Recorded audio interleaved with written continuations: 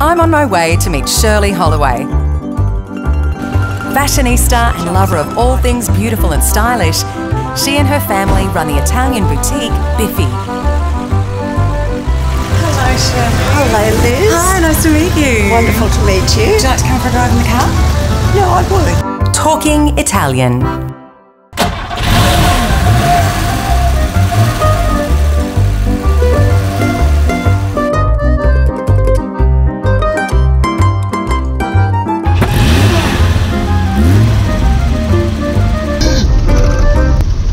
So, Shirley, what's your connection to Italy?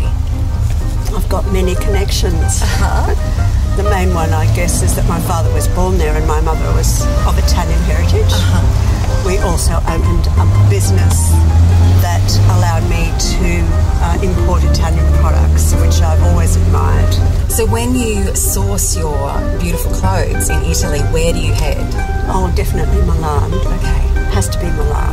That's Because where- of the product, there's more product, or just Yes, all what the- Estonians like? Most of the headquarters of the companies we deal with all come from Milan.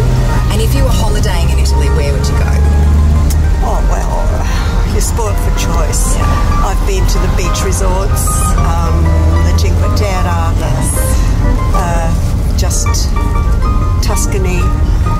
in terms of Italian wine, what do you head towards? What's your go-to? Well, we drink a lot of Chianti when we're in Tuscany, but you know, if you're in the south, you drink Nero di Avola. In the north, there's lovely uh, white wines, and you know, it's fantastic. If you were to teach me an Italian phrase that you like, what would it be?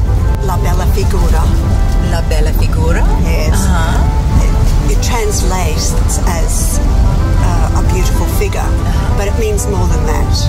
It means um, it, it's about presentation essentially, but it's more than presentation. It's also everything you do, whether you actually say it, but everybody acts on it. Yeah. So it's part of the culture. Yeah. It's a cultural thing. Yeah, great. Thanks for chatting, Shirley. I really appreciate it. Oh, it's been an absolute pleasure. Thank you. Ciao. Ciao, ciao.